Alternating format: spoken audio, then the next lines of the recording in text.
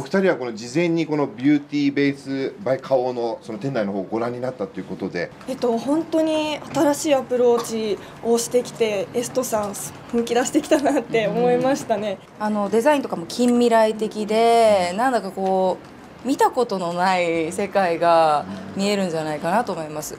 映画ってこうよくほら ベラーってめくってうわーみたいなやつあったじゃないですか。そうそうああいう世界が多分もうここまで来てるんでいつかもうメイクもできちゃうぐらいになっちゃうんじゃないかなって思ってます、うん、あ最近綺麗になったなって言われません？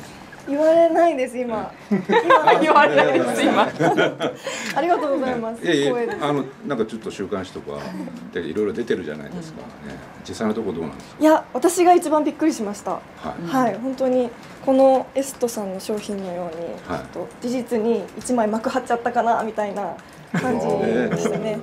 ちょっと今うまいこと言いました。うまくいったすごいうまいうまいでも食事とか行かれてるのは確かにいやお友達です本当に。あそうすいまなんですかせんありがとうございます。この前新国立であの舞台やってましたけどそれは行かれてる そうですか。え？あいやいや本当にうんそうですねお友達なので。あはい。友達ぐらいいるよね男友達ぐらいね。そうなんですよ。そうそうそう。あ、うん。そうなんですね。ありがとうございます。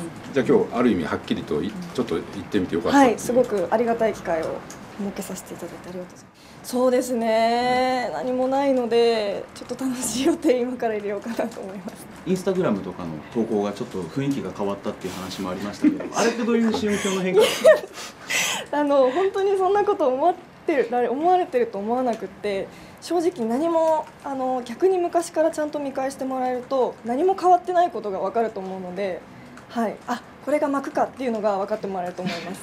はい。